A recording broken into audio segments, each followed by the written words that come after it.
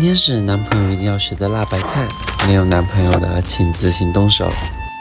我发现女生对男生说“我饿了”，男生会说“你想吃什么”；男生对女生说“我饿了”，女生往往会说“嗯，我也是”。这是真的吗？这个配方是我去附近很有名的烤肉店里面偷偷学来的，记得要保存哦。